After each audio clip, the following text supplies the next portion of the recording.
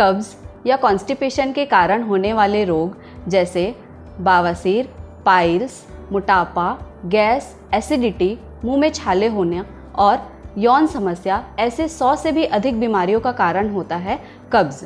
इस कब्ज़ की पहचान आप कैसे कर सकते हैं? तो आपका पेट सही से साफ़ ना होना और टॉयलेट में दो मिनट से अधिक समय लगना। तो आप समझ जाइए कि आप कब्ज़ की चपेट में आ चुके हैं। इस कब्ज़ से मुक्ति पाएँ अपनाएँ श्री चवन आयुर्वेद का कब्ज़ हरी आज ही इसे ऑर्डर करें डब्ल्यू से।